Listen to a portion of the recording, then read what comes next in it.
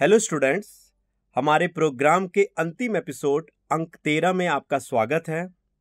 इस पूरे सीरीज़ में हमारा प्रयास आपको आगामी दो जून को आयोजित होने वाली प्रारंभिक एग्ज़ाम में भारतीय अर्थव्यवस्था संबंधी प्रश्नों की चिंताओं से मुक्त करना है।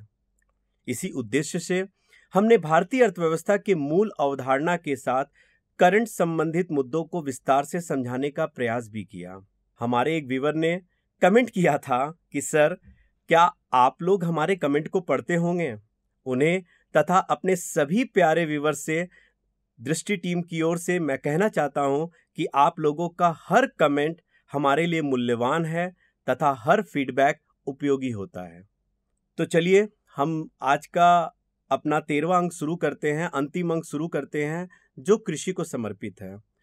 कृषि शुरू करने से पहले एक छोटा सा इंपॉर्टेंट टॉपिक है, आप इसको समझ लीजिए, जो एग्ज़ाम में इंपॉर्टेंट है और अभी चर्चा का विषय भी रहा है, और वह है पॉन्जी स्कीम जैसा कि हम पॉन्जी स्कीम में देख रहे हैं आप इस फिगर को देखकर, इस पिक को देखकर ही समझ रहे होंगे कि ये एक मल्टी लेवल मार्केटिंग एमएलएम होता है, जहाँ आप नए निवेशक आप इसमें जोड़िए, और जैसे ही नए निवेशक आप जोड़ेंगे तो आपको लाभ मिलता जाएगा। पॉन्जी स्कीम से आशय ऐसे फर्जी निवेश ऑपरेशन से है, जिसमें ऑपरेटर पुराने निवेशकों को रिटर्न नए निवेशकों से प्राप्त धनराशि से देता है। यह ऐसी स्कीम होती है, जिसमें वास्तव में कोई कारोबार या किसी व्यवसायिक गतिविधि में पैसा नहीं लगाया जाता है, बल्कि कुछ व्यक्तियों से पैसा इकट्ठा कर एक व्यक्ति को रिटर्न के रूप में दे दिया जाता है। इस तरह एक चेन बन जाती है, जिसमें ज़्यादातर लोगों का पैसा डूब जाता है। और इसका नाम जो है, वह इटली का व्यवसायी चार्ल्स पोंजी ऐसे ही स्कीम चलाकर लोगों का पैसा हजम कर जाता था और इसी के नाम पर पौंजी स्कीम का नामकरण हुआ। यानी यहाँ पर क्या है कि एक व्यक्ति है, एक व्यक्ति अगर मान लीजिए इसमें उनसे कहा जाता है कि भाई तुम तीन व्यक्ति और बना दो, ठीक है? तीन व्यक्ति और जोड़ दो। कुछ पैसे के साथ में जैसे ही ये तीन व्यक्ति जुड़ेंगे उस व्यक्ति को आ, पैसा मिलेगा ठीक है? अब इन तीनों व्यक्ति से यही कहा जाता है आप सोचिए ये तीन व्यक्ति फिर तीन बनाएँगे फिर ये तीन तीन बनाएँगे फिर ये तीन तीन बनाएँगे। इस तरह की स्कीम आप लोगों ने बहुत सुना होगा this is called the Ponzi scheme ठीक है मल्टी लेवल मार्केटिंग और एक तरह का ये फर्जी निवेश होता है, जहाँ कोई प्रोडक्टिव चीज़ों में ये पैसा नहीं लगाया जाता है, बल्कि यहाँ पर आप नए निवेशक बनाइए और नए निवेशक के बनते ही तब आपको पैसा मिलना शुरू होगा। ठीक है? अगर आप लोगों ने समझ लिया, चलिए इससे संबंधित एक प्रश्न को सॉल्व कर लें। पॉन्जी स्कीम से अभिप्राय है ए यह ऐसी स्कीम है जिसमें निश्चित दर से ब्याज मिलता है। बी इस स्कीम में धन का उत्पादक कार्यों में प्रयोग करके ब्याज का भुगतान किया जाता है। सी ऐसी स्कीम जिसमें नए निवेशकों को पुराने निवेशकों से धन मिलता है तथा दोगुना ब्याज भी प्राप्त होता है। डी वह फर्जी स्कीम जिसमें पुराने निवेशक को नए निवेशकों से प्राप्त धन का लाभ मिलता है। क्या बात है, देखिए एकदम चलिए, बहुत अच्छा। Very good answer is D ठीक है? कि यहाँ पुराने निवेशक को नए निवेशकों से प्राप्त धन का लाभ मिलता है। आइए हमारे आज का जो अंतिम एपिसोड है कृषि, इसके बारे में हम चर्चा करते हैं। अगर हम कृषि की बात करते हैं तो भारत के सकल घरेलू उत्पाद में, यानी कुल जीडीपी में कृषि और संबद्ध क्षेत्र agriculture and its related activities जो है, जिसमें पशुपालन मत्स्य पालन एनिमल रेयरिंग फॉरेस्ट्री फिशिंग इसको शामिल करते हैं, का योगदान 1950 इक्यावन में अगर हम बात करते हैं 1950-51 में तो यह लगभग पचपन दशमलव चार ज़ीरो प्रतिशत, लगभग पचपन प्रतिशत था 55 परसेंट जो 2016-17 में। अब तो हम जीवीए पर देखते हैं, ग्रॉस वैल्यू एडिशन, सकल मूल्य वर्धन 2011-12 की कीमतों में हम देख रहे हैं कि 2016-17 में अब घट करके कितना हो गया, सत्रह दशमलव नौ प्रतिशत, लगभग आप 18 प्रतिशत मानकर चलिए 17.9 अगर हम केवल एग्रीकल्चर की बात करते तो ये तो 13 प्रतिशत तक हो गया लेकिन अगर हम कृषि और संबद्ध क्षेत्र दोनों को मिलाकर देखें तो 17.9 प्रतिशत हो गया। कहने का मतलब 1950 इक्यावन की तुलना में वर्तमान में कुल जीडीपी में या जीवीए में कृषि क्षेत्र के योगदान में क्या हुई है? कमी आई है। एनालिसिस देखिए 1950 इक्यावन की तुलना में 1950 50 51 में की तुलना में अगर आज बात करें 2016-17 में तो उसकी तुलना में जो कृषि एवं संबद्ध क्रियाएँ या कृषि क्षेत्र में ही बात करें, उनका, उसका कुल जीडीपी के योगदान में क्या हुआ है? कमी आया है, ठीक है? अब कृषि एवं संबद्ध क्षेत्र का कुल जीवीए में योगदान को जरा हम लोग एक बार देखें। एक तरफ़ वर्ष लिखा हुआ है, दूसरी तरफ़ जीवीए में कृषि अंश प्रतिशत के रूप में लिखा हुआ है। आप केवल इस डेटा को देखिए, बारह, तेरह में अठारह दशमलव दो, तेरह, चौदह में अठारह दशमलव छः चौदह, पंद्रह में अठारह दशमलव दो, पंद्रह, सोलह फिफ्टीन सिक्सटीन में सेवनटीन पॉइंट सेवन सोलह, सत्रह सिक्सटीन सेवनटीन में सेवनटीन पॉइंट नाइन और सत्रह, अठारह सेवनटीन एटीन में सेवनटीन पॉइंट वन आपको ये याद नहीं करना है। क्या या देखना है? एनालिसिस क्या कृषि और उसके संबद्ध क्षेत्र का कुल जीवीए में लगातार पिछले पाँच वर्षों में कमी आई है या बढ़ोतरी हुई है? तो हम क्या देख रहे हैं? न तो कमी आई है, न तो बढ़ोतरी हुई है, बल्कि कम बेसी दोनों ही हुआ है। तो अगर ये कोई कथन आता है कि लगातार कम हुआ है पिछले पाँच वर्षों में या लगातार बढ़ा है, वो दोनों ही कथन आपका क्या होगा? असत्य होगा। ठीक है? जरा ध्यान से देखिए। कहीं एक तरफ़ फिर बढ़ गया ये बढ़ता बड़ा बड़ा फिर घट गया फिर घट गया फिर बढ़, फिर उसके बाद बड़ा है फिर घट गया। यानी कहीं लगातार बढ़ोतरी या बढ़ा लगातार कमी को हम नहीं देख पा रहे हैं।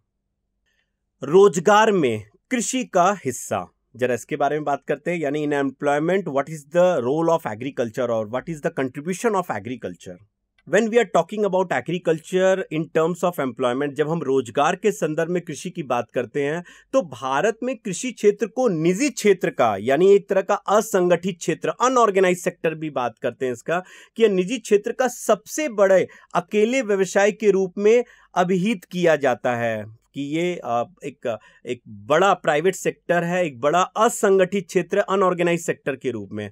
और आईएलओ का एक डेटा आया है 2017 के आंकड़े के अनुसार अगर हम बात करते हैं तो वर्ष 2016-17 16-17 में कुल रोज़गार में कृषि और संबद्ध क्षेत्र का agriculture and its related activities का 43 परसेंट रहा है। ठीक है? यानी देखिए मोस्ट ऑफ़ द एम्प्लॉयमेंट जो है, वो एग्रीकल्चर में ही दिखा है और एग्रीकल्चर में अगर हम देखें तो ये एक असंगठित क्षेत्र, असंगठित रोज़गार को इसने बढ़ावा दिया अनऑर्गेनाइज और जिसके बारे में हम बात भी कर चुके हैं पहले कि अनऑर्गेनाइज होता क्या है? अनऑर्गेनाइज सेक्टर या अनऑर्गेनाइज लेबर होता क्या है? वर्ष उन्नीस सौ पचास में कृषि और संबद्ध क्षेत्रों में देश की कार्यशील जनसंख्या वर्किंग पॉपुलेशन की अगर हम बात करेंगे तो हम देख रहे हैं कि उस समय 69.5 परसेंट लोग, लगभग 70 प्रतिशत लोग कृषि क्षेत्र में आश्रित थे अपनी जीविका के लिए, यानी अपने जीविकोपार्जन, अपने लाइवलीहुड के लिए agriculture they were dependent on agriculture at that time on 1950-51 but now you are seeing that अभी भी ऐसा नहीं कि कम हुआ है बहुत 43 परसेंट अभी भी कृषि संबद्ध क्षेत्र में रोज़गार दे रहा है। और डायरेक्टली और इनडायरेक्टली अगर बात करें, प्रत्यक्ष और अप्रत्यक्ष रूप से तो अभी भी 60 प्रतिशत जनसंख्या हमारी 60 परसेंट पॉपुलेशन एग्रीकल्चर पर ही डिपेंडेंट है। रोज़गार में कृषि का हिस्सा अगर हम इसमें फिर बात करते हैं एग्रीकल्चर में तो हम देखते हैं कि दो प्रकार की मुख्यतः बेरोजगारी या अनएम्प्लॉयमेंट एग्रीकल्चर में पाया जाता है। एक मौसमी बेरोजगारी और दूसरा जिसको सीजनल अनएम्प्लॉयमेंट कहा जाता है और छिपी हुई बेरोजगारी जिसको डिस्गाई अनएम्प्लॉयमेंट कहा जाता है। मौसमी बेरोजगारी हम जानते हैं कि आ, किसान साल में दो फ़सल उगाता है एक खरीफ और रबी बीच में जायद फ़सल भी उगाता है। अब खरीफ और रबी दोनों छः महीने का टेन्योर होता है दोनों में से कोई एक फ़सल उगाया जाता है बाकी के छः महीने वो मनरेगा में काम कर सकता है, लेकिन मनरेगा में काम नहीं करता है। तो एक तरह से देखा जाए, जो वो छह महीने आराम करता है या छह महीने बेरोजगार रहता है, उसको हम मौसमी बेरोजगारी, जो कृषि क्षेत्र में, एग्रीकल्चर में बहुत ज़्यादा पाया जाता है। उसके बाद डिसगाई अनएम्प्लॉयमेंट छिपी हुई बेरोजगारी इसको कहा जाता है, प्रच्छन्न बेरोजगारी भी कहा जाता है, जहाँ अतिरिक्त व्यक्ति की सीमांत उत्पादकता शून्य होती। मैं फिर से बोल रहा हूँ, छिपी हुई बेरोजगारी, जहाँ अतिरिक्त व्यक्ति की सीमांत उत्पादकता where the marginal productivity of additional labour is zero. ठीक है? इसका क्या मतलब हुआ? मान लीजिए खेत में दो लोग काम करने के लिए चाहिए, लेकिन वहाँ पाँच लोग काम कर रहे हैं तो क्या इससे उत्पादन बढ़ेगा? उत्पादन नहीं बढ़ेगा क्योंकि अधिकतम दो लोगों की आवश्यकता है और पाँच लोग फाइव पर्सन अगर इंक्लूडेड वहाँ काम कर रहे हैं तो इससे उत्पादन नहीं बढ़ेगा। ठीक है? बल्कि इसका अगर वो तीन लोगों को, जो थ्री एक्स्ट्रा लेबर है, उसको अगर हटा भी दिया जाए तो इसका उत्पादन पर कोई विशेष प्रभाव नहीं देखने को मिलेगा। तो इसीलिए कहा जाता है कि अतिरिक्त व्यक्ति की सीमांत उत्पादकता शून्य है, और अगर उन अतिरिक्त व्यक्ति को कार्य से हटा भी दिया जाए तो उत्पादन या उत्पादकता पर उसका कोई भी प्रोडक्शन प्रोडक्टिविटी पर बहुत ज़्यादा इंपैक्ट उसका नहीं पड़ता। इसी को कहा जाता है डिस्गाई अनएम्प्लॉयमेंट और इस पर यूपीएससी एक बार सवाल पूछ भी चुका है। अगर समझ गए तो एक प्रश्न का हल करते हैं। निम्नलिखित कथनों पर विचार कीजिए। कथन एक, भारत के सकल घरेलू उत्पाद में कृषि क्षेत्र का योगदान 1950 की तुलना में घटा है, लेकिन कृषि और संबद्ध क्षेत्रों की योगदान में वृद्धि हुई है। कथन दो, छिपी बेरोजगारी वह है जहाँ अतिरिक्त व्यक्ति या श्रमिक की सीमांत उत्पादकता ज़्यादा होती है। उपर्युक्त में से कौन सा कथन सत्य है? ए केवल एक, बी केवल दो सी, एक और दो, दोनों डी, न तो एक, न ही दो। क्या बात है, पकड़ लिया हाँ?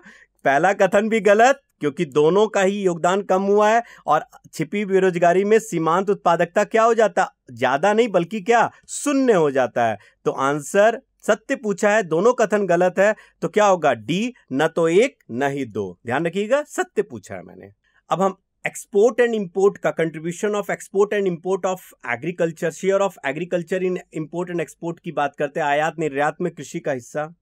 आयात निर्यात में देखते हैं तो कृषि उत्पादों के 10 प्रमुख निर्यातक देशों में, अगर एक्सपोर्टिंग कंट्रीज़ की बात करें तो भारत का टेंथ टेंथ रैंक है भारत का, ठीक है? यानी अगर पहला स्थान यूरोपियन यूनियन का है, दूसरा यूएसए, ब्राज़ील थर्ड चौथा चीन का है, पांचवा कनाडा का है, छठा इंडोनेशिया का है तो दसवें पोजीशन में कौन है? भारत है, ठीक है? वहीं कृषि वस्तुओं का जो भारत इंपोर्ट करता है, आयात करता है, उसके टर्म्स में देखा जाए तो भारत का स्थान सेवेंथ है, याद रखिएगा।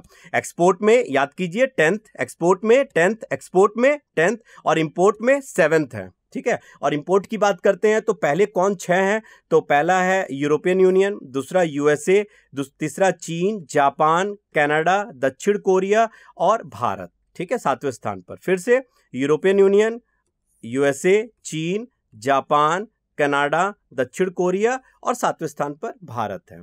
अगर वर्ष 2016 में कृषि और खाद्य उत्पादों के वैश्विक व्यापार इंटरनेशनल ट्रेड की बात करते हैं तो भारत का जो निर्यात का हिस्सा माना गया वो 2.1 परसेंट कृषि के संबंध में, वस्तु और सेवा के संदर्भ में तो दो परसेंट हमें पता ही है, लेकिन कृषि के संदर्भ में बात करें तो हम देखते हैं उसमें टू परसेंट यानी चौंतीस billion dollar thirty billion dollar का भारत क्या करता है? कृषि वस्तुओं का निर्यात करता है, जबकि आयात जो हमारा है, शुक्र है, कम है, कितना? ट्वेंटी बिलियन डॉलर ये केवल याद रखिएगा agriculture and its related product की बात कर रहा हूँ। तो इसमें यहाँ क्या देख रहे हैं? आयात हमारा 1.8 परसेंट है कंट्रीब्यूट करता है, जबकि निर्यात हमारा 2.1 यहाँ देखने को मिल रहा है कि हम निर्यात ज़्यादा करते हैं और आयात कम करते हैं। हमारा निर्यात लगभग 34 बिलियन डॉलर का है, जबकि आयात हमारा 29 बिलियन डॉलर का है। अब हमारा जो निर्यात करने वाले कृषि वस्तुएँ, जो एग्रीकल्चर प्रोडक्ट है, उसमें सबसे इंपॉर्टेंट क्या है? सामुद्रिक उत्पाद मरीन प्रोडक्ट ठीक है? इंपॉर्टेंट ये नहीं कितना कंट्रीब्यूशन है। मसाला स्पाइसेस देखते हैं। फल और फल, सब्ज़ी और दाल, है ना? फ्रूट्स वेजिटेबल्स एंड पल्सेस कच्चा कपास देखते हैं रॉ कॉटन तो इसके हिसाब से देखा जाए, सबसे ज़्यादा समुद्री उत्पाद मरीन प्रोडक्ट स्पाइसेस फिर फ्रूट्स वेजिटेबल्स और पल्सेस को देन उसके बाद में कच्चा कपास, यानी रॉ कॉटन को हम देखते हैं। जबकि आयात में हम देखते हैं कि सबसे ज़्यादा हम खाद्य तेल, है ना? खाद्य तेल को सबसे ज़्यादा जो फ़ूड ऑयल्स हैं हम लोग उसको देखते हैं सबसे ज़्यादा हम आ, आयात कर रहे हैं ऑयल सीड्स को। फिर उसके बाद में आ, आ, दाल को पल्सेस को और काजू को ठीक है ना? तो ये है हम देखते हैं जो हमारे इंपोर्टिंग आइटम्स हैं। खाद्य तेल दाल ठीक है? खाद्य तेल ध्यान रखिएगा। खाद्य तेल मतलब फ़ूड ऑयल को और दाल और फिर काजू। फिर अगर हम बात करते हैं देश की कुल बुआई क्षेत्रफल का मात्र हमारा केवल 45 प्रतिशत ही भाग सिंचित है इरिगेटेड लैंड है। माने जो लैंड हमारा है उसमें कितना इरिगेटेड एग्रीकल्चर लैंड कितना सिंचित है इरिगेटेड है तो लगभग 45 प्रतिशत। और जबकि चौवन प्रतिशत भाग 54 परसेंट भाग आज भी हमारा एग्रीकल्चर के लिए मानसून पर डिपेंड करता है। अगर हम वैश्विक उर्वरक उपभोग में बात करें माने फर्टिलाइजर्स के उपयोग की बात करें तो फर्टिलाइजर्स के कंजम्पशन में फर्टिलाइज़र के उपभोग में उर्वरकों के उपभोग में भारत का चीन के बाद दूसरे पायदान पर यानी यहाँ पर आ, आप देखिए कि हरित क्रांति जब हमारा आया है, उन्नीस में 1966 में जब हमने हरित क्रांति की शुरुआत की, तब से लेकर अब तक। अगर आप देखिए जब हम उर्वरकों का ज़्यादा प्रयोग कर रहे हैं, ज़्यादा से ज़्यादा किसान उर्वरकों का खेतों में उपयोग कर रहा है, और आज उर्वरकों का उपयोग इतना ज़्यादा होने लग गया है कि मिट्टी की उर्वरक क्षमता फर्टिलिटी ऑफ़ सॉइल ही डिटोरेट हो रही है।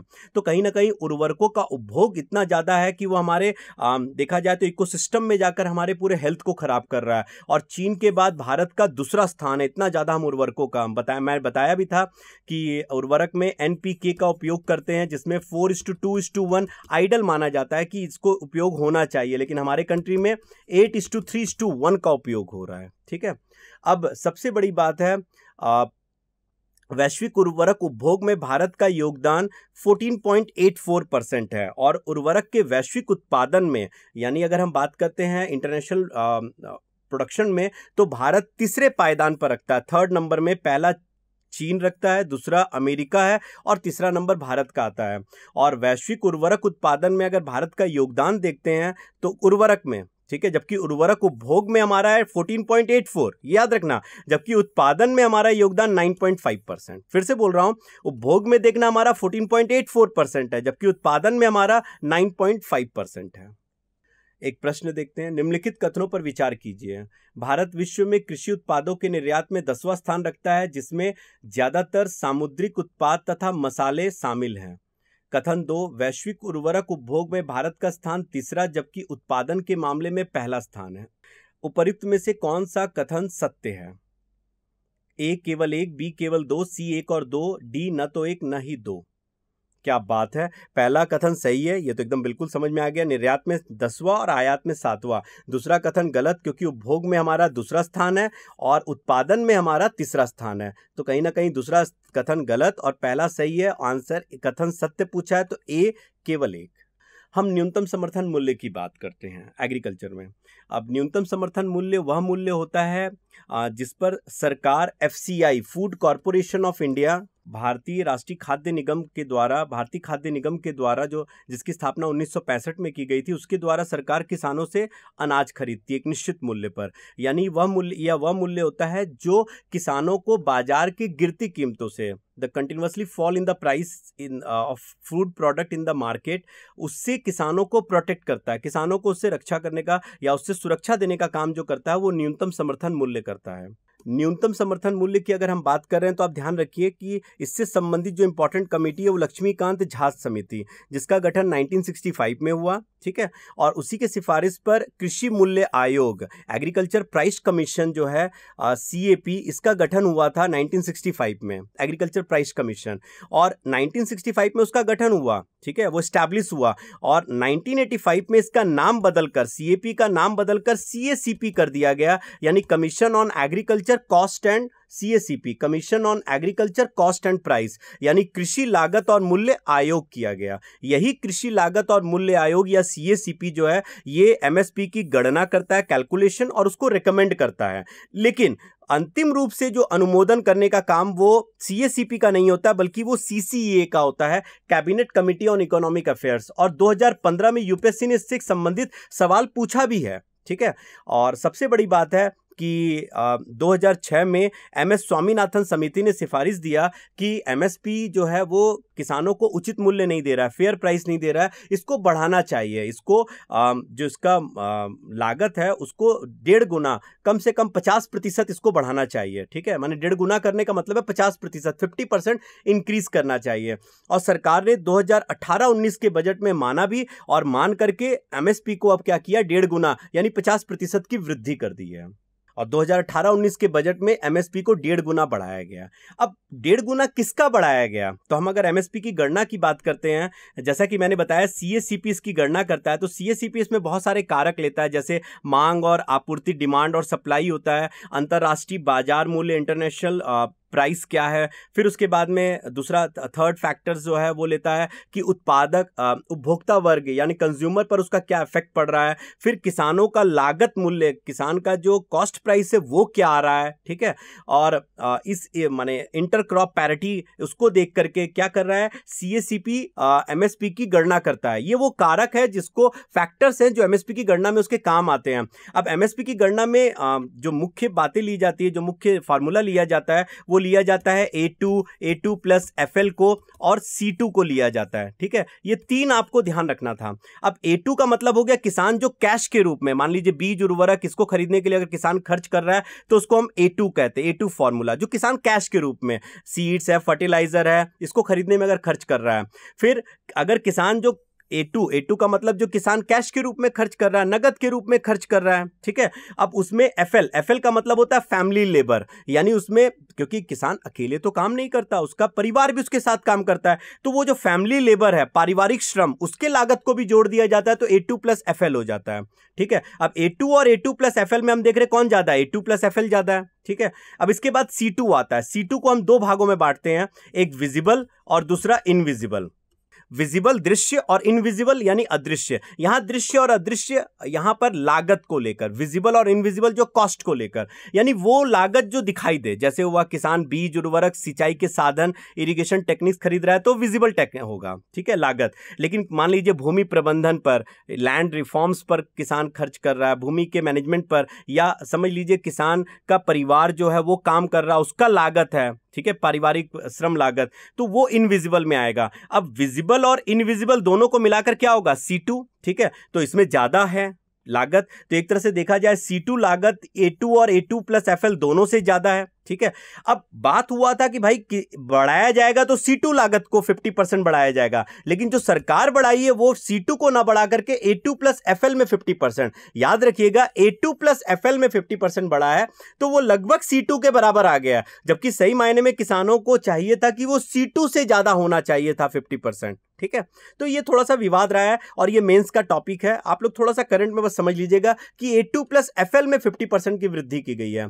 और सबसे बड़ी बात है कि वर्तमान में एमएसपी की घोषणा 24 फ़सलों में की जाती है और एक फ़सल जो गन्ना है सुगर केन है, उस पर उस पर सरकार क्या देती है? सुगर केन की अगर हम बात करते हैं तो उस पर सरकार एफआरपी देती है फेयर एंड रेमोनरेटिव प्राइस जिसको हम बोलते हैं उचित और लाभकारी कीमत। और ये फेयर एंड रेमोनरेटिव प्राइस कुछ ज़्यादा नहीं है समझने का, बस इतना जान लीजिए कि एमएसपी से ज़्यादा होता है, ठीक है? एमएसपी से एफआरपी ज़्यादा होता है। अब 24 अब ये क्यों दिया जाता है? ये भी मेंस का टॉपिक है आपका। अब वर्तमान में एमएसपी की घोषणा 24 फ़सलों में की जाती है। थोड़ा सा पढ़ लीजिए, याद रखिएगा। अनाज सात प्रकार के अनाज लिए जाते हैं। माने इसको खाद्य और गैर खाद्य फ़सल दोनों को इसमें शामिल किया जाता है फ़ूड एंड नॉन फ़ूड और सबसे बड़ी बात है एमएसपी की जो घोषणा है, वो उत्पादन से पहले प्रोडक्शन से पहले कर दी जाती है, ताकि किसानों को बुस्टअप मिले और बेनिफिट मिले और किसान ज़्यादा उत्पादन करें। तो अनाज सात प्रकार के, जिसमें धान, गेहूँ, जौ, ज्वार, बाजरा, मक्का और रावी। और दाल पाँच किस्म का है, जिसमें चना अरहर, तूर, मूंग, उड़द या मसूर। और तिलहन जो है वो आठ प्रकार के, जैसे मूंगफली, सरसों, सोयाबीन, सूरजमुखी बीज, तोरिया, जूट, तिल, नाइजर सीड और कुसुम, जिसको सेफ़ फ्लावर सीड भी कहा जाता है।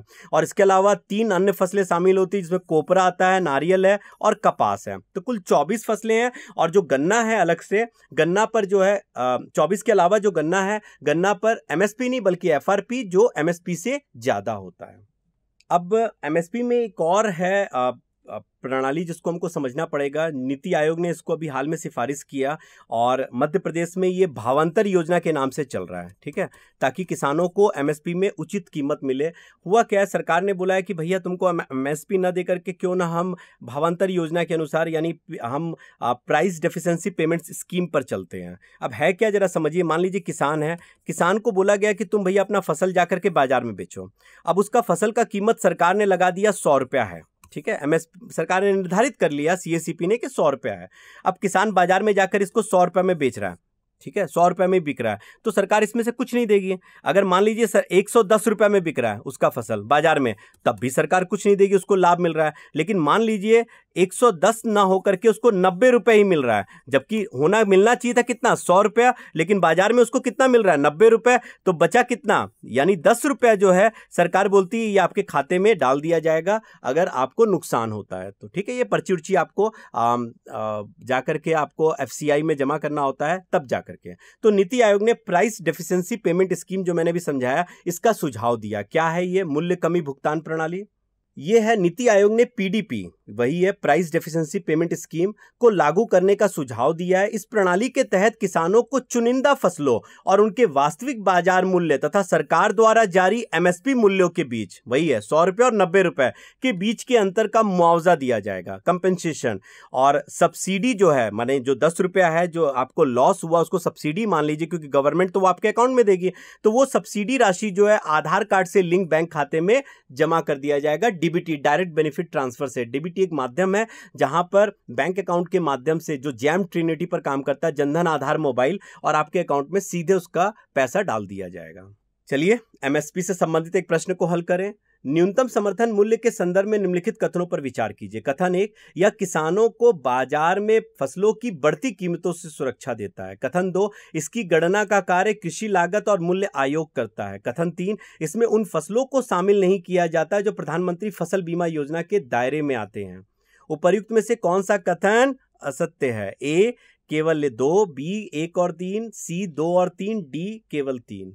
तो हम देखते हैं, बाज़ार की बढ़ती कीमतों से नहीं, बाज़ार की घटती कीमतों से कि बाज़ार में उनको कीमत ठीक नहीं मिल रहा है, तब एमएसपी उनको लाभ पहुंचाता है, ठीक है?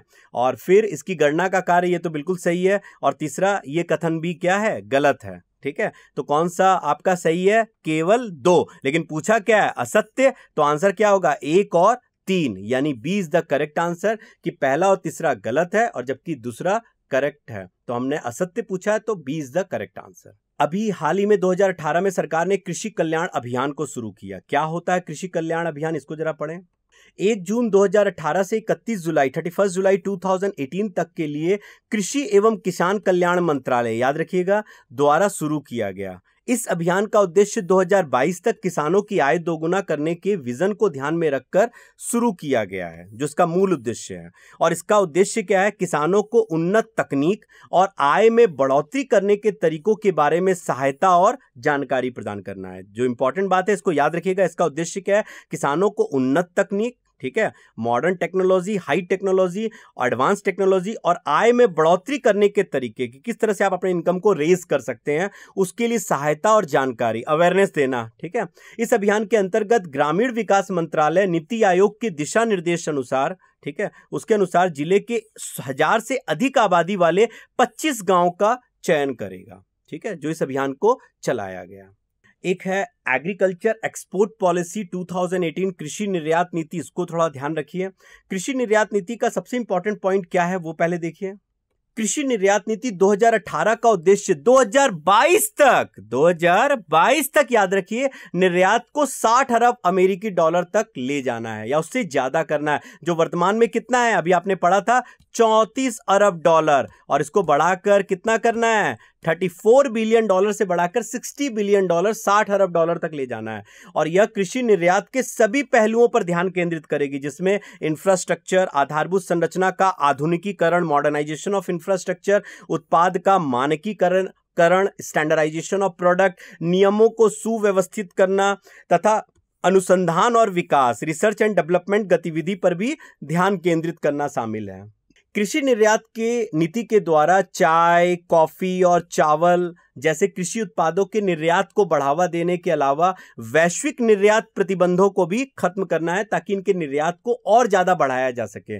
इस नीति के तहत निर्यात किए जाने वाले कृषि उत्पादों में विविधता डाइवर्सिफिकेशन इज़ वेरी इंपॉर्टेंट ठीक है? लाने के अतिरिक्त उनके लिए नए बाज़ार, माने searching of a new market that is also very important for exporting agriculture policy 2018 तो एग्रीकल्चर एक्सपोर्ट पॉलिसी 2018 में मोस्टली जो बात की गई है की गई है। एक तो निर्यात को बढ़ाना 2022 तक 60 अरब डॉलर तक। दूसरा डाइवर्सिफिकेशन के अलावा न्यू मार्केट सर्च करना, चाय कॉफ़ी मसाला, इनके निर्यात को बढ़ावा देने के साथ साथ निर्यात प्रतिबंध, जो एक्सपोर्ट रिस्ट्रिक्शन है, उसको भी दूर करना। अब सबसे इंपॉर्टेंट बात है कृषि शब्दावली। कुछ हम एग्रीकल्चर एग्रीकल्चरल टर्मिनोलॉजी पर बात करते हैं। कृषि शब्दावली जो एग्ज़ाम के लिए आपके लिए बहुत इंपॉर्टेंट है तो हम एक एक करके कृषि शब्दावली को पढ़ते हैं। पहला आता है vertical farming most important for इस बार टू थाउज़ेंड नाइनटीन एग्ज़ाम जल्दी, अच्छे से समझ लीजिए पहले क्या होता है, मैं समझा रहा हूँ। वर्टिकल फ़ार्मिंग कृषि की एक अत्याधुनिक तकनीक है, ठीक है? इट्स अ मॉडर्न टेक्निक जिसमें खेती सपाट ज़मीन पर, यानी प्लेन प्लेन ज़मीन पर प्लेन फर्श पर नहीं करके प्लेन ज़मीन पर नहीं करके, न होकर बहुमंजिली इमारतों पर, ठीक है? बहुमंजिली इमारतों पर होती है। इसे एक तरह का बहुमंजिली ग्रीन हाउस भी कहा जाता है, ठीक है? मल्टी लेवल ग्रीन हाउस भी कहा जाता है। तो पहला बात है कि इसको एक सपाट भूमि पर ना करके बहुमंजिली इमारतों पर होती है और बहुमंजिली ग्रीन हाउस भी कहा जाता है। अमेरिका, चीन, मलेशिया जैसे दुनिया के कई देशों में पहले से ही वर्टिकल फ़ार्मिंग हो रहा है और वर्टिकल फ़ार्मिंग इसमें भूमि भी कम उपयोग होता है लैंड भी कम होता है, पानी भी कम बहुत लगता है, पानी भी आपका दस गुना पानी कम लगता है और सबसे बड़ा बात है कि यहाँ पर जो दीवार होती है वो कांच की होती है और अत्याधुनिक तकनीक से यहाँ सिंचाई की जाती है मॉडर्न टेक्निक से। ठीक है? तो इसको पढ़ते हैं। शहरों एवं ग्रामीण क्षेत्रों में बढ़ती आबादी के कारण कृषि क्षेत्र में भूमि की तेज़ी से कमी आ रही है। इसलिए कृषि क्षेत्र में फ़सलों की ऐसी किस्मों की ज़रूरत होगी जो कम स्थान पर, याद रखिएगा, कम स्थान पर ज़्यादा उत्पादन कर सके। इस दृष्टिकोण से वर्टिकल फ़ार्मिंग बेहतर विकल्प है। इसमें एक ही भूमि पर पद सोपानी क्रम, यानी वही बहुमंजिला क्रम में है ना? बहुमंजिला इमारतों पर। बढ़ते, माने ऊपर बढ़ते हुए क्रम में खेती की जाती है। यह शहरी कृषि का एक प्रतिरूप है। काफ़ी हद तक खाद्य संकट भी खत्म हो जाएगा। इसमें अनाज और सब्ज़ियाँ शहरों में इमारतों के अंदर ही पैदा की जा सकती है। वर्टिकल फ़ार्मिंग के तहत खेती में दस गुना कम पानी और कम भूमि का उपयोग कर ज़्यादा उत्पादन किया जा सकता है। जैसा कि मैंने कहा, एक अत्याधुनिक तकनीक है, जिसमें खेती सपाट ज़मीन पर ना होकर बहुमंजिली इमारतों पर होती है। इसे एक तरह का बहुमंजिली ग्रीन हाउस याद रखिएगा बहुमंजिली ग्रीन हाउस भी कहा जाता है। फिर ई रकम की बात करते हैं। ई रकम एक ऐसा प्लेटफॉर्म है जो किसानों को विश्व बाज़ार से जोड़ता है। ठीक है? यानी एक ऑनलाइन प्लेटफॉर्म है जिसके द्वारा किसान अपने कृषि उत्पादों को, देखिए ई नाम और ई रकम दोनों अलग अलग है।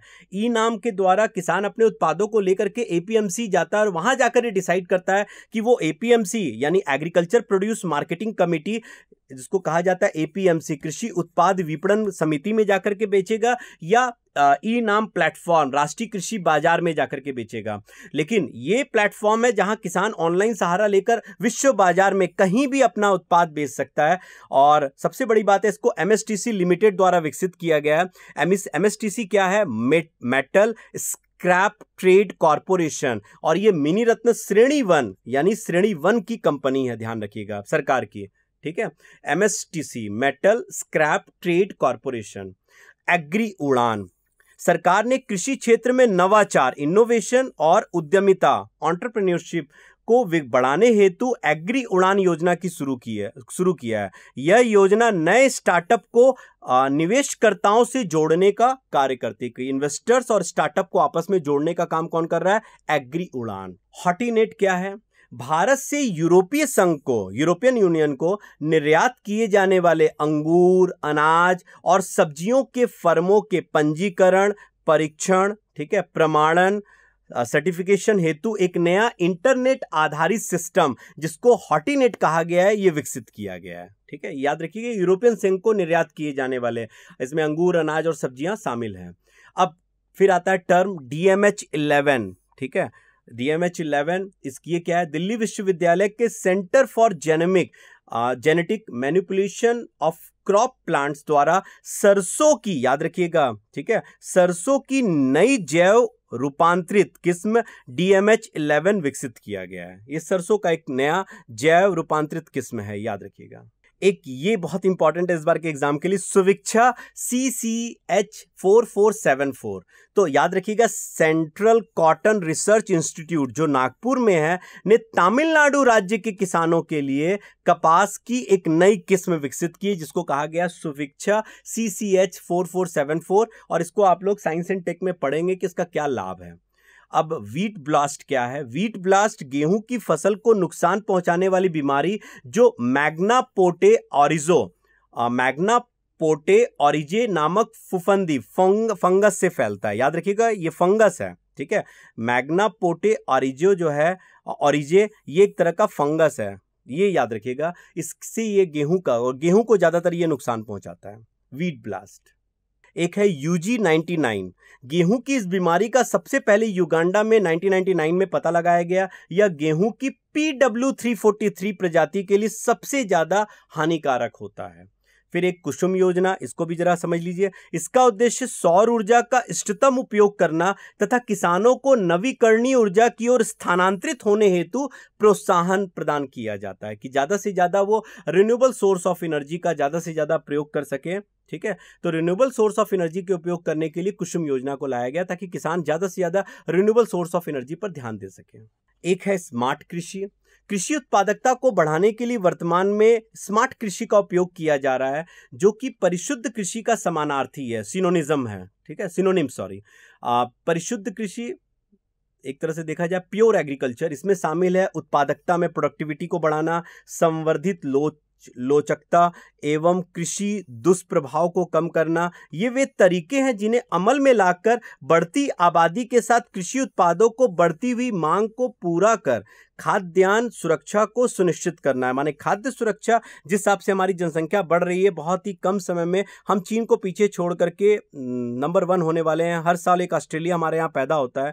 तो कम से कम उस खाद्यान्न को जो हमें चाहिए, माना जाता है कि हमें तीन सौ चौंतीस मिलियन टन खाद्यान्न की आवश्यकता पड़ेगी। 2020 उससे आगे 2020 तक जाते जाते तो कम से कम आ, 330 मिलियन टन जो कि अभी इकोनॉमिक टाइम्स के सर्वे में भी आया है। तो कम से कम उसीलिए हम किसान संपदा योजना की भी शुरुआत की उसके लिए स्मार्ट कृषि पर ध्यान देना आवश्यक है और स्मार्ट कृषि जो सेवन ई पर केंद्रित है वो सेवन ई है इन्हेंसमेंट यानी उच्चतर उत्पादकता के ज़रिए उत्पादन बढ़ाना इकोनॉमिकल यानी आर्थिक दृष्टि से कृषि की व्यवहार व्यवहार्यता एनर्जी यानी जीवाश्म ईंधन की ऊर्जा का सीमांत सीमित उपयोग फिर एफिशिएंट यानी सीमित प्राकृतिक संसाधनों का कुशल इस्तेमाल इक्विटेबल यानी कृषि समुदाय में लाभों का समान वितरण एम्प्लॉयमेंट यानी रोज़गार का सृजन और साथ में पर्यावरणीय अनुकूल यानी एनवायरमेंटल पर्यावरणीय अनुकूल।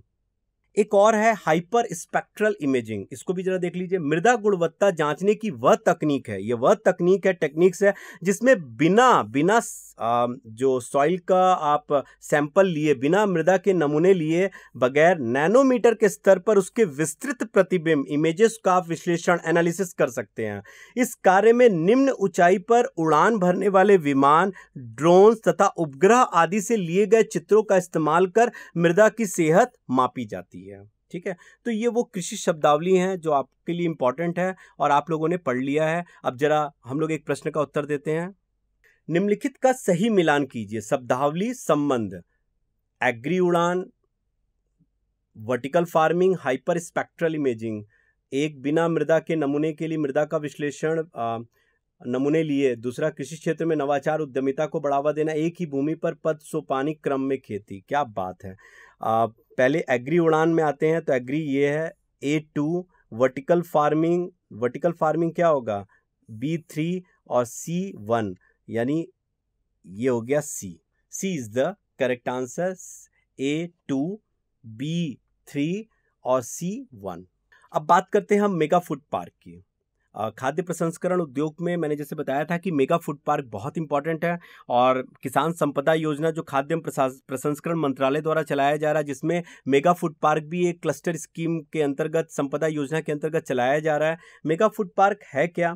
पहला बात तो है कि आप प्रसंस्करण को जानते ही है कि प्रसंस्करण यानी प्रोसेसिंग वह प्रक्रिया है जहाँ प्राथमिक उत्पाद यानी कृषि उत्पाद को एक निश्चित प्रक्रिया से गुजारा जाता है और जिससे उसके गुणों में परिवर्तन आता है उसके जीवन और मूल्य वृद्धि दोनों में ही बढ़ोतरी होती है। तो अगर हम बात करते हैं उसमें मेगा फ़ूड पार्क जैसा पतंजलि, बाबा रामदेव को कौन नहीं जानता अब पतंजलि के कारण तो पतंजलि एक ऐसा मेगा फ़ूड पार्क है जो बहुत फ़ेमस भी और जिसका विश्व में अपना एक अनोखा, एक अलग पहचान बनाया है। तो मेगा फ़ूड पार्क जो योजना है, ये खाद्य प्रसंस्करण उद्योग मंत्रालय द्वारा 2008 से ग्यारहवीं पंचवर्षीय योजना में शुरू किया गया। इसका लक्ष्य किसानों, संसाधनों और खुदरा व्यापारियों को साथ लेकर कृषि उत्पादन को बाज़ार से जोड़ने का एक तंत्र उपलब्ध कराना है। इसका उद्देश्य अधिकतम मूल्यवर्ध संवर्धन वैल्यू एडिशन नुकसान को कम करना यानी मॉडर्न टेक्निक्स का यूज़ करके नुकसान को कम करना रिड्यूसेस वेस्टेज रिड्यूसिंग वेस्टेज और फिर आ, किसानों की आय बढ़ाना increase income of increase in the income of farmer और विशेषकर ग्रामीण क्षेत्र में रोज़गार एम्प्लॉयमेंट जनरेशन के अवसर सुनिश्चित करना है। यह एक क्लस्टर दृष्टिकोण पर आधारित होता है। यह अत्यंत प्रसंस्करण सुविधाओं के साथ आधारभूत संरचना का समर्थन और सुव्यवस्थित आपूर्ति श्रृंखला के साथ एक सुव्यवस्थित कृषि बागवानी प्रसंस्करण जोन की संभावना की तलाश करता है। और अगर कोई मेगा फ़ूड पार्क स्थापित करना चाहता है, जैसा कि सरकार ने लक्ष्य लिया हुआ है कि बयालीस मेगा फ़ूड पार्क की स्थापना करना है पूरे देश में, और इसको आप पढ़ना भी गूगल से कि कितने मेगा फ़ूड पार्क स्थापित हो गए हैं, बहुत इंपॉर्टेंट भी आपके एग्ज़ाम के लिए। तो याद रखना है कि सरकार उसके लिए आर्थिक सहायता भी दे रही है। जैसे मेगा फ़ूड पार्क की स्थापना, मूल्य संवर्धन के साथ खेतों से बाज़ार तक जोड़ने के लिए आधारभूत, आधुनिक आधारभूत सुविधाओं के साथ खाद्य प्रसंस्करण के निर्माण हेतु सरकार पचास करोड़ रुपए तक मतलब मतलब साफ़ है कि सरकार पचास करोड़ रुपए से ज़्यादा इसमें आर्थिक सहायता नहीं दे रही है। और कैसे? इसको जरा ऐसे समझिएगा कि अगर आ, मैदानी इलाकों में कोई मेगा फ़ूड पार्क स्थापित करना चाहता है तो सरकार बोलती है कि जितना भी प्रोजेक्ट का लागत है उसका या तो हमसे पचास प्रतिशत और या पचास करोड़। दोनों में जो कम है या तो प्रोजेक्ट प्रोजेक्ट का पचास करोड़ पचास प्रतिशत ठीक है? मान लीजिए दो सौ करोड़ का प्रोजेक्ट है 200 करोड़ का 50 परसेंट कितना होगा? 100 करोड़। तो इस केस में सरकार क्या देगी? कितना देगी? 100 करोड़ देगी कि 50 करोड़ देगी? 50 करोड़ देगी। ठीक है? दोनों में जो कम है 50 करोड़ या प्रोजेक्ट लागत का पचास प्रतिशत। ठीक है? ये मैदानी इलाकों में, लेकिन पहाड़ी इलाकों में अगर करते हैं, पहाड़ी या पूर्वोत्तर क्षेत्र में तो प्रोजेक्ट लागत का पचहत्तर प्रतिशत, सेवेंटी फाइव परसेंट और 50 करोड़ जो दोनों में कम है। जैसे 200 करोड़ है तो 200 करोड़ का 75 क्या होगा? ठीक है? वो भी पचास करोड़ से ज़्यादा होगा तो उस केस में भी सरकार पचास करोड़ से ज़्यादा नहीं देगी। याद रखिएगा, ठीक है? जैसे हुआ जहाँ पर पचास करोड़ से कम है, वहाँ पर तो देखा जाए, आप देखिएगा कि पचास पचहत्तर परसेंट बहुत ज़्यादा लाभदायक भी होता है। तो याद रखिएगा, मैक्सिमम पचास करोड़ तक का सरकार आर्थिक सहायता, यानी हेल्प कर रही है, या फाइनेंसिंग का काम कर रही है। और मेगा फ़ूड पार्क की स्थापना के लिए ये याद रखिएगा, न्यूनतम पचास एकड़ भूमि की आवश्यकता होती है, और चूँकि कृषि राज्य का विषय है, इसीलिए भूमि उपलब्ध कराने का भी काम कौन कर रहा है? राज्य ही कर रहा है। ठीक है? तो यहाँ पर 50 एकड़, न्यूनतम 50 एकड़ भूमि भी उपलब्ध कराने का काम जो है, ये राज्य द्वारा किया जा रहा है पचास एकड़ भूमि तो इसमें न्यूनतम चाहिए चाहिए, ठीक है?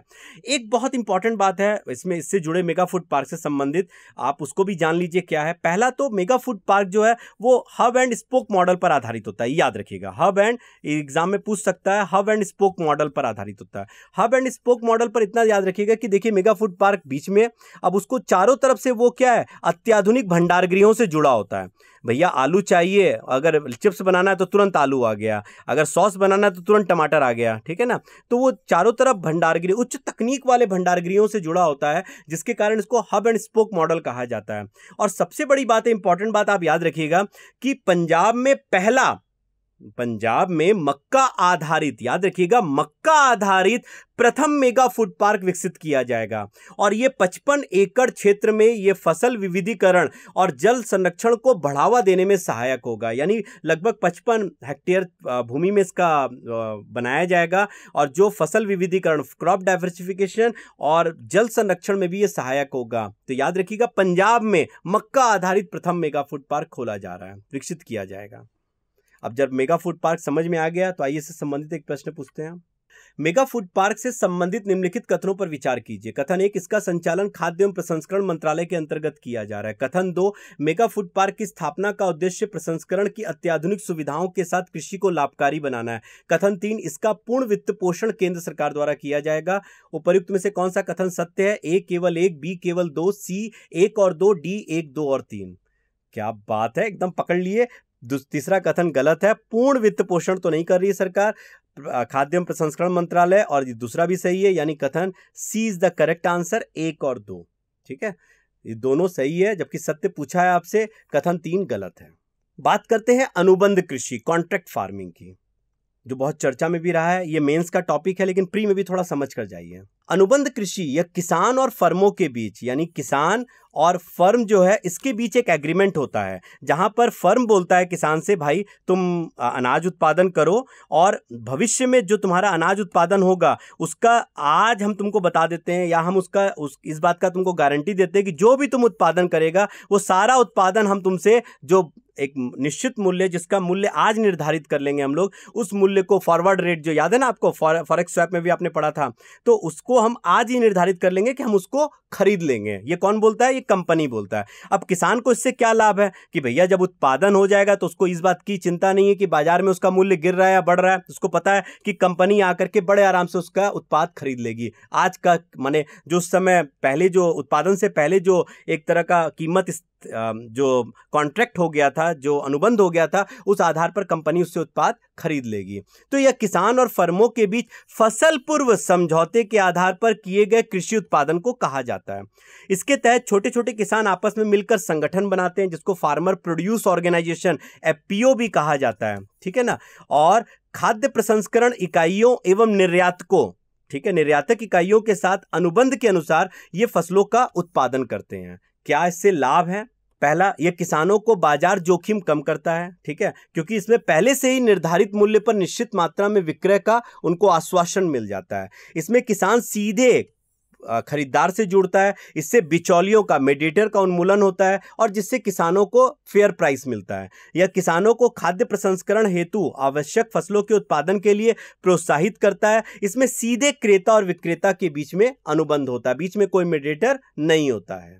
कॉन्ट्रैक्ट फ़ार्मिंग, चूँकि एपीएमसी जो है, अगर आपको मेंस में आप पढ़ेंगे एपीएमसी के बारे में अगर आप जानेंगे तो एपीएमसी मंडी जहाँ किसान अपने पहले उत्पाद को बेचता है और 1950 से सरकार ने एपीएमसी मंडियों की स्थापना शुरू की तो एपीएमसी मंडी कभी भी कॉन्ट्रैक्ट फ़ार्मिंग को बढ़ावा नहीं देती, क्योंकि एपीएमसी राज्य का विषय और कॉन्ट्रैक्ट फ़ार्मिंग संवर्ती सूची का विषय है तो एपीएमसी जब कॉन्ट्रैक्ट फ़ार्मिंग को बढ़ावा नहीं देती, सरकार चाहती है कि कॉन्ट्रैक्ट फ़ार्मिंग बढ़ावा दिया जाए तो 2018 में मॉडल कॉन्ट्रैक्ट फ़ार्मिंग एक्ट 2018 सरकार लेकर आई। और इसमें एग्रीकल्चर के साथ साथ एनिमल रियरिंग यानी पशुपालन को भी पोल्ट्री को भी इसमें जोड़ा गया। यानी 2018 में सरकार ने अनुबंध कृषि से संबंधित एक मॉडल कॉन्ट्रैक्ट एक्ट का मसौदा किया। इस मॉडल कृषि उत्पाद और पशुधन अनुबंध खेती एवं सेवाएँ प्रोत्साहन एवं सहूलियत अधिनियम 2018 नाम दिया गया। इसमें सरकार ने कृषि उत्पादन के साथ पशुपालन और पोल्ट्री को भी शामिल किया है।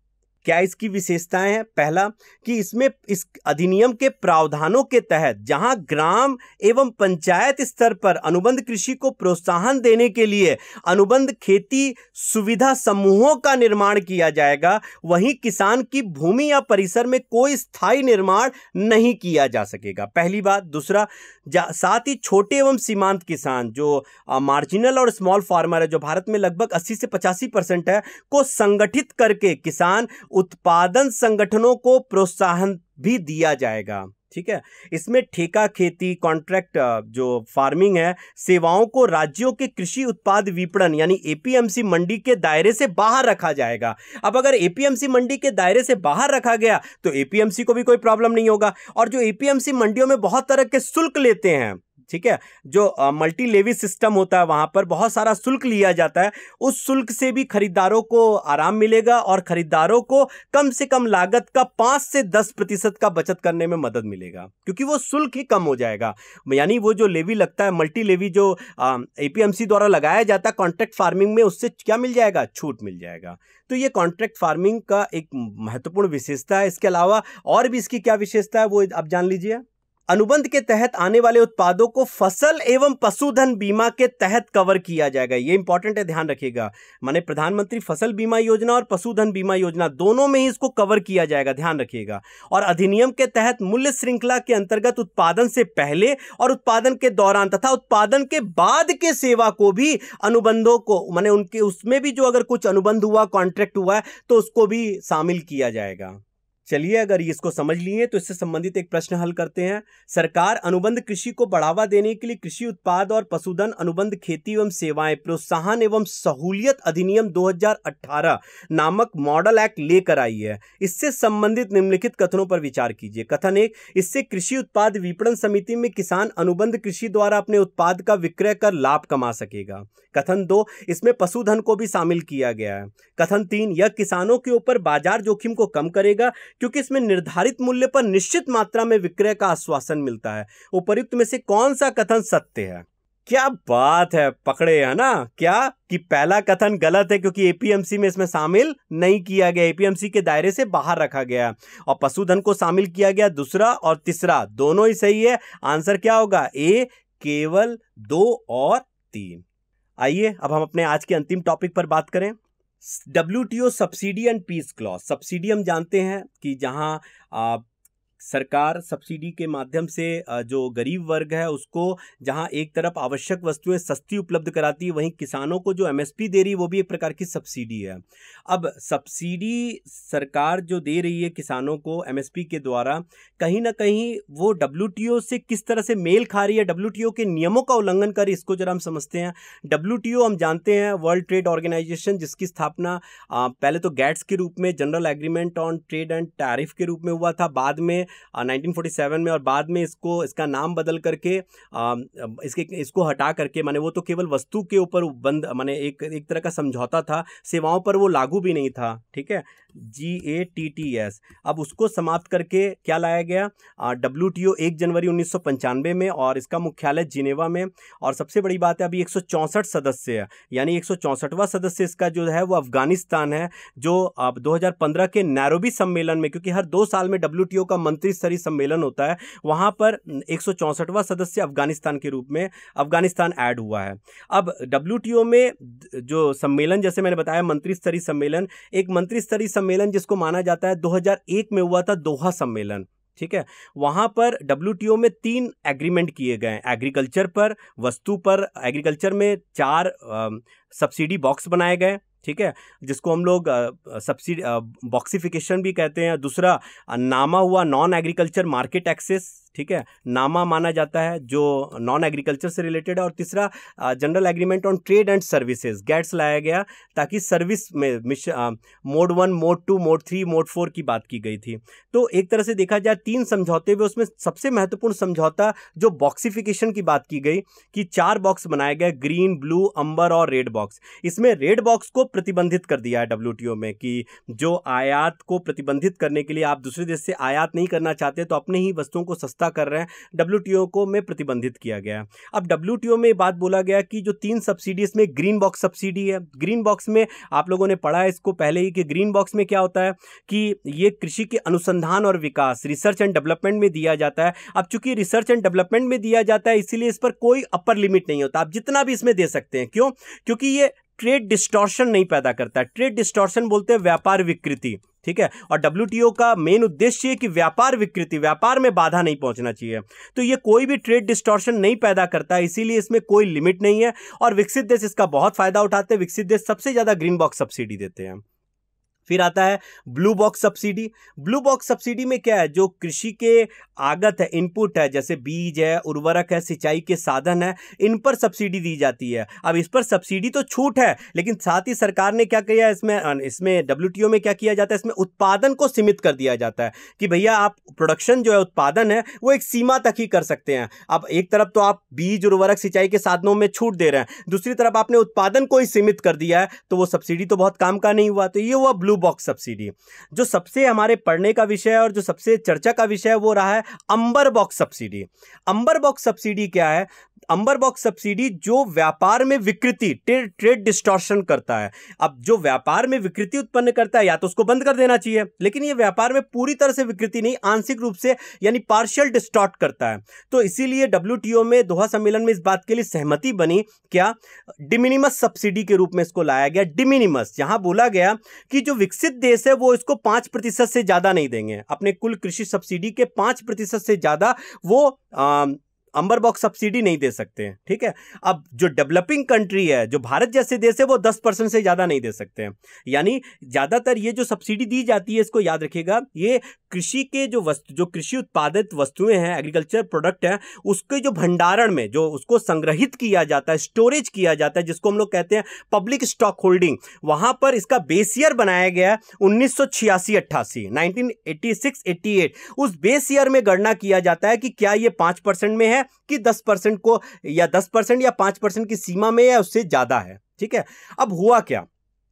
हुआ। 2013 में हम लोग लेकर आए राष्ट्रीय खाद्यान्न सुरक्षा अधिनियम नेशनल फ़ूड सिक्योरिटी एक्ट जिसके अंतर्गत आप देखिए, हम अपने 67 परसेंट पॉपुलेशन को 67 सड़सठ प्रतिशत, दो तिहाई जनसंख्या को तीन रुपये दो रुपये और एक रुपये में चावल, गेहूँ और मोटा अनाज राइस वीट और फ़ूड ग्रे कोर्स ग्रेन हम लोग पब्लिक डिस्ट्रीब्यूशन यानी राशन की दुकानों के माध्यम से गरीब परिवारों को उपलब्ध करा रहे हैं, जिसमें अंत्योदय और बीपीएल परिवार को 35 केजी अनाज प्रति महीने दिया जा रहा है। और जो इंपॉर्टेंट नहीं, क्योंकि एग्ज़ाम में इसको पूछा जा चुका है 2017 में, और 25 केजी अनाज दिया जा रहा है प्राथमिक परि दूसरे जो प्राथमिक परिवार हैं, क्योंकि यहाँ परिवार को दो ही भागों में बांटा गया बीपीएल और अंत्योदय परिवार, एक, और दूसरा है प्राथमिक परिवार, जो बीपीएल और अंत्योदय नहीं है। तो उनको, उन परिवारों को 25 केजी अनाज दिया जा रहा है। ठीक है और राशन कार्ड महिलाओं के नाम पर बनेगा।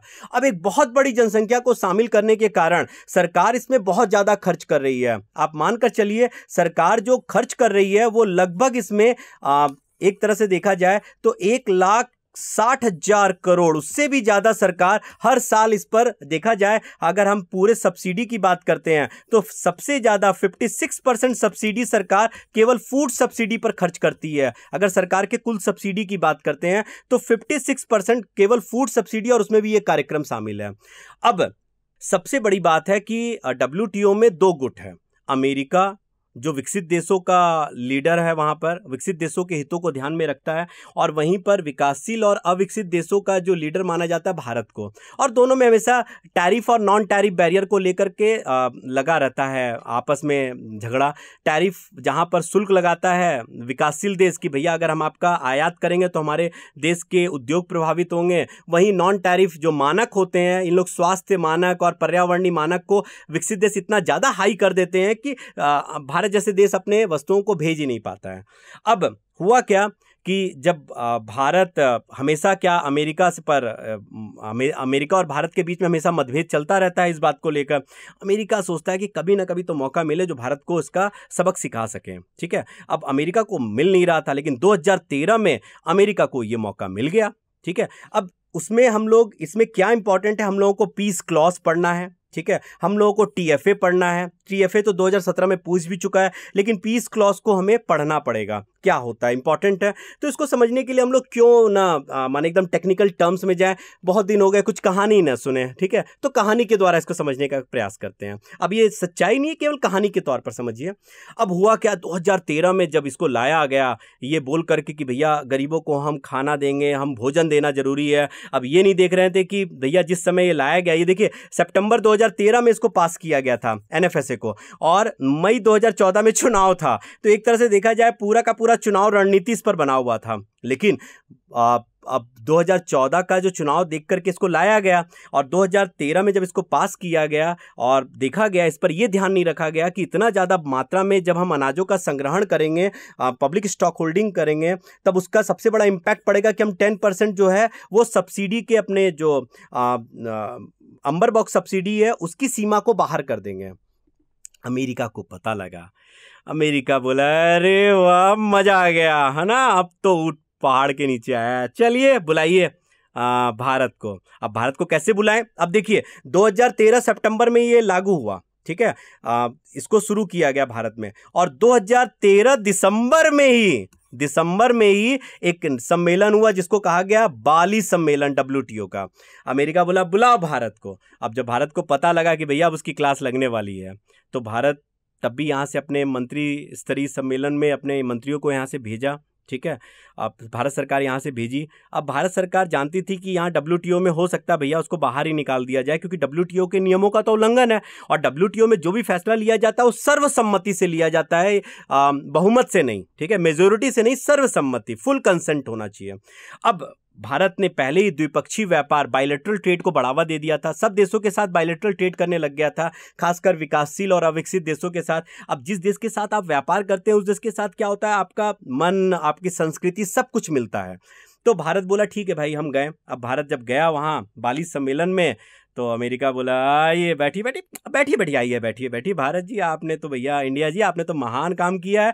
ये कौन सा इतना बड़ा कार्यक्रम लेकर आ गए, इतना बड़ा सब्सिडी कार्यक्रम, एन एफ़ एस ए? आपको ये पता नहीं लगा कि आप इसके चक्कर में पब्लिक स्टॉक होल्डिंग का 1986 से 86 88 का जो आधार वर्ष है, बेस ईयर है जो आपका रेफरेंस पॉइंट है आप उसको, उससे आप ज़्यादा बढ़ा रहे हैं टेन परसेंट सब्सिडी से ज़्यादा दे रहे हैं। भाई देखो डब्ल्यू के सारे मेंबर भारत उल्लंघन कर रहा है। डब्ल्यूटीओ का नियम नियमों का जो है, ये भारत उल्लंघन कर रहा है। कहीं ना कहीं सबको भैया एक बात पर राज़ी होना चाहिए कि भारत को बाहर निकालो। भैया भारत चुपचाप सुन रहा था, भारत क्या बोलता? तो चलिए भैया भारत भारत को बाहर निकाली जाए अमेरिका मनी मन खुश की वाह अब मज़ा आएगा। अब इसको अब इसको सबक मिलेगा। अब आए गिड़गड़ाए हम लोग के सामने ठीक है? जैसे वो चाहता है अभी हम जीएसपी में गिड़गड़ाएँ उसके सामने। अब भारत बोला ठीक है हमारा हमको क्या है? आ, फिर पीछे मुड़ करके विकासशील अविकसित देशों को देखो भाई आज हम जा रहे हैं कल तुम्हें भी जाना पड़ेगा। ठीक है? ये अमेरिका ऐसे राज करेगा डब्ल्यूटीओ में ऐसे बात करेगा तो भाई देखो आज आज आज हमारा, हमारे गरीब लोगों का हित करने के लिए हम हित हित को देखकर हम ये कार्यक्रम लेकर आए। कल के दिन में तुम कोई ऐसा कार्यक्रम लाओगे तो भैया तुम भी बाहर जाओगे। हम तो जा रहे भाई, तुम लोग अपना ख्याल रखना। Bye bye tata. अब भारत जब जाने लगा तो फिर दूसरे देश सोचने लगे अविकसित विकास। भैया, हम लोगों का तो लीडर यही है और यही जा रहा है। इससे तो हम लोग अपना बायोलेटरल ट्रेड भी करते हैं। कितना हमारा ख्याल रखता है। सब चलाने लगा, नहीं नहीं नहीं, भारत जाएगा तो हम लोग भी जाएँगे, हम लोग भी जाएँगे। तो अमेरिका देखा, भाई, अगर अविकसित और विकासशील देश ये सारे सब बाहर निकलने लग जाएँगे तो हम राज किस पर करेंगे? है ना? अब अमेरिका बोला, ऐसे तो चलेगा नहीं। तो उसने भारत को बोला, अरे, कम कीजिए ना, इतना सब्सिडी क्यों दे रहे आप? भारत ने बोला कि, अब हम लेकर तो आए साहब, हमारे यहाँ गरीब लोग बहुत हैं, आप ही तो कहते हैं वी आर वेरी पुअर तो हम उनके लिए लेकर आए अच्छा ठीक है ठीक है, इसको कम कीजिए। तो अब भारत बोला कि, ठीक है सरकार, हम इसको कम करेंगे। तो अमेरिका, यहाँ एक चाल चलता। अमेरिका बोला, ठीक है, एक काम करते हैं, हम आपको एक जनवरी 2017 तक का टाइम देते हैं। ठीक है, ये देखो 2013 का बात है, दिसंबर 2013 हम आपको एक जनवरी 2017 तक का टाइम देते हैं। इसके लिए हम लोग क्या करेंगे, एग्रीमेंट ऑन एग्रीकल्चर, जो डब्ल्यूटीओ का एक प्रावधान है, उसमें संशोधन कर देंगे कि अगर आप अगर कोई देश अगर इस तरह का सब्सिडी दे रहा है, जैसा कि आप दे रहे हैं, ठीक है पब्लिक स्टॉक होल्डिंग में, जो अंबर बॉक्स को सुपर सीड कर रहा है अंबर बॉक्स को जो उल्लंघन कर रहा है, अगर कोई और भी देश देता है इस दौरान तो कोई दूसरा देश या डब्ल्यूटीओ का कोई दूसरा देश को चैलेंज नहीं करेगा। यानी 2017 तक तो आप मुक्त हैं, ठीक है, इस मामले में। लेकिन 2017 तक आप इसके लिए कुछ ना कुछ कीजिए। और डब्ल्यूटीओ में हम इसको हम इसको बोलेंगे पीस क्लॉज यानी अब शांति है सीज फायर है भाई, ना तो हम कुछ बोलेंगे, ना आपको कुछ बोलेंगे। अमेरिका मनी मन खुश किया बेटा, अब फंसे तुम। भारत बोला हाँ बात तो सही है भाई, ये तो फंसा दिया हमको कि अब एक जनवरी 2017 के बाद क्या होगा? जनता तो पीटेगी हम लोगों को और कुछ नहीं है। अगर हम बंद कर देंगे तो उनको क्या समझ में आएगा? पीस क्लॉस क्या और अंबर बॉक्स सब्सिडी क्या। लेकिन भैया, उस समय तो चुनाव सामने था, बोले, ठीक है ठीक है ठीक है, आप कर लीजिए। अब साइन हुआ, उसके बाद चले गए पीस क्लॉज हो गया। ठीक है, कि 2017 तक शांति। अब इसी दौरान एक और घटना घट रहा था कि अमेरिका में 2008 के बाद में सब प्राइम संकट के पास मंदी आ गया, जिससे अमेरिका भारी मंदी का सामना करना, कर रहा था और अमेरिका उससे बाहर आना चाहता था।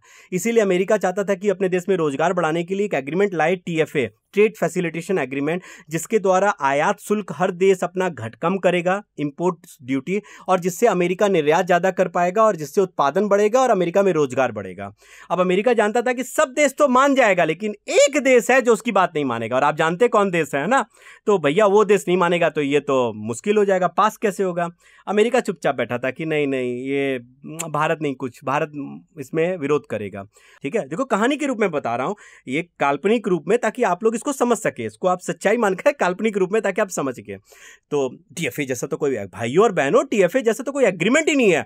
भाइयों और बहनों, टीएफए टीएफए तो हमारे देश क्या पूरे विश्व में रोज़गार को बढ़ाएगा, बेरोजगारी दूर कर देगा। टीएफए टीएफए तो लागू होना चाहिए। अब अमेरिका को जब पता लगा भैया कैसे छुपेगा? अमेरिका के राष्ट्रपति को जब पता लगा कि भारत तो टीएफए का उल्लंघन माने विरोध नहीं बल्कि उसका समर्थन कर रहा है तो बोला क्या अरे अरे बुलाओ बुलाओ ऐसे कौन है भैया ये? तो प्रधानमंत्री नया बड़ा मज़ेदार आया तो बड़ा बढ़िया आया। बोले साहब आपने तो उस पर आ, रोक लगा रखा है उसके वीज़ा को आपने प्रतिबंध कर रखा अरे पागल हो क्या उसके वीज़ा को हटाओ चालू करो और एक रेड कारपेट बिछा उसको बुलाओ। वहाँ उनका खूब गर्म माने एकदम काफ़ी बड़ा स्वागत हुआ उनका बहुत बड़े रूप में उनका स्वागत होता है। अब मोदी जी सोचते हैं कि भैया एक तरह से देखा जाए तो ये तो भारत का बहुत बड़ा सम्मान है और वास्तव में बहुत बड़ा सम्मान का बात था। अब बात हुआ कॉन्फ्रेंस वॉन्फ्रेंस होने के बाद में मोदी जी से कहा गया कि भाई आ, वो एग्रीमेंट ओबामा बोला अरे जल्दी से वो एग्रीमेंट लाओ टीएफए वाला। हाँ T F A Modi ji इसमें साइन मोदी जी बोली, क्या चीज़ है भाई? अरे, वही वही that you have told everywhere कि T F A T F A जहाँ आपने बात किया था टी एफ़ ए सबसे बढ़िया एग्रीमेंट जो बहुत रोज़गार बढ़ाएगा, जो मैंने एक तरह से देखा जाए तो हमारे देश में, माने पूरे विश्व में बेरोजगारी कम करेगा जीडीपी को बढ़ाएगा, ये वही टी एफ़ ए एग्रीमेंट है। आपने कहा था ना, चलिए साइन कर दीजिए इसमें। बोले, मैंने ये तो कब कहा? मैंने तो हमेशा बोला ना नेशनल फ़ूड सिक्योरिटी एक्ट साहब। अरे साहब, यही तो राष्ट्रीय खाद्यान्न सुरक्षा अधिनियम। मैं नेशनल फ़ूड सिक्योरिटी एक्ट के बारे में हर जगह बोल रहा हूँ। और साहब, आप चिंता मत करो 2017 हम इसको कम करके ही रहेंगे, ठीक है? हम इसको कम नहीं कर करते, हमें तो शांता कुमार कमेटी भी बैठाया है। हम इसको कम नहीं करेंगे तो हम इसको बंदी कर देंगे, आपकी बात मानेंगे। ओ no no no I am not talking about that N F S A वहाँ जी बोले, हम उसके बारे में बात नहीं कर रहे भाई। A T F A T F A में तुम साइन करो। तुम साइन करेगा तो सब देश साइन कर देगा। साइन करो साइन करो। बोले, साहब, हम तो एन एफ़ एस ए के बारे में सोच रहे थे। आप टी एफ़ ए बोल रहे हैं। तब ओबामा समझ गया। ओके अच्छा व्हाट डू यू वांट नहीं साहब, वो आपने बोल दिया ना, एक जनवरी 2017 को हमारा बंद करवा रहे कार्यक्रम। हमारे देश में एक चौथाई लोग अभी भी गरीबी रेखा से नीचे जीवन यापन कर रहे हैं below the poverty line Obama बोला, भाई, मानेगा नहीं ये तो। एक काम करो भाई हम तुमको टाइम और देगा। I we we will give you more time हम तुमको 2020 तक टाइम देगा। हाँ वेरी गुड 2020 चलो साइन करो। नहीं। क्यों? क्यों साइन क्यों नहीं कर रहा? और टाइम चाहिए। और टाइम अच्छा ओके ओके 2030 अब 2030 हमने बहुत टाइम दिया मोदी जी। बहुत टाइम है। चलिए अब साइन कीजिए। या या इस एग्रीमेंट पर साइन कीजिए। क्या हुआ Modi ji? You are not signing नहीं सरकार। क्यों क्यों? अब क्यों नहीं साइन कर रहे हो? आ, मुझे और टाइम चाहिए। माने हमारी सरकार को और टाइम चाहिए। और कितना टाइम इतना तो टाइम दिया 2030 और कितना टाइम सरकार बोले, क्या? क्या टाइम कितना टाइम तुम बताओ। बोले नो टाइम है? मतलब? मतलब नो टाइम वहाँ पर हो जाए। नो टाइम का मतलब अनिश्चित काल ठीक है? और जब होगा सरकार, हम इस पर काम तो कर ही रहे हैं। जब भी होगा, हम इस पर काम करके और जल्द से जल्द इसको कम कर लेंगे। अब देखिए टीएफए को साइन करवाने के लिए अमेरिका को यहाँ झुकना पड़ा और उसको मानना पड़ा यहाँ से एक जनवरी 2017 का क्लॉज समाप्त करके। इसको अनिश्चित काल अनिश्चित काल के लिए इनडेफिनिट पीरियड तक बढ़ा दिया गया। ये बात अलग है कि अमेरिका बार बार दबाव डाल रहा है भारत पर, जो हम लोग पढ़ते रहते हैं। अभी भी ग्यारहवा जो अर्जेंटीना में हुआ था, ब्यूनस आयर्स में, वहाँ भी दबाव बहुत तेज था। लेकिन अमेरिका टीएफए को जहाँ पास करवा पाया, वहीं भारत पीस क्लॉज के थ्रू इसको इनडेफिनिट पीरियड कर पाया। ठीक है? मेरे ख्याल से आप लोगों ने अच्छे से समझा भी होगा इसको और अब आप कभी इसको भूलेंगे नहीं। तो बच्चों, इसी के साथ हमारा ये एपिसोड समाप्त हुआ और आपको आने वाले पीटी एग्ज़ाम के लिए ऑल द बेस्ट। अच्छे से मेहनत कीजिए और उम्मीद करता हूँ कि ये जितना भी एपिसोड बनाया गया ये सारे एपिसोड आपके एग्ज़ाम के पर्पज़ एग्ज़ाम के दृष्टिकोण से को ध्यान में रख करके हमने इस पर पूरी दृष्टि टीम ने मेहनत की है। तो पूरी दृष्टि टीम की तरफ़ से आपको एग्ज़ाम की शुभकामनाएँ। ऑल द बेस्ट अच्छे से मेहनत कीजिए। बाय